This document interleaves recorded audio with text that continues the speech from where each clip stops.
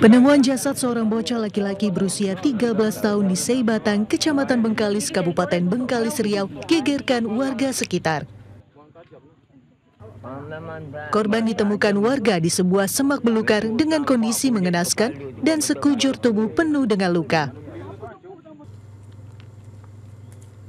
Polisi yang datang ke lokasi langsung memasang garis polisi dan menemukan senjata tajam dan sepasang sandal.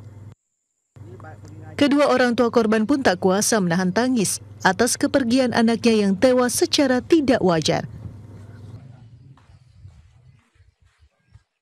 Isi korban ditemukan bahwa memang ada bekas benda-benda tajam, ya sayatan-sayatan di muka maupun di beberapa lokasi tangan yang terkena benda tajam tersebut.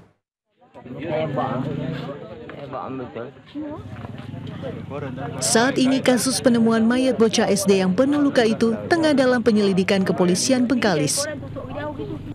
Pihak keluarga berharap polisi dapat secepatnya mengungkap kasus pembunuhan ini.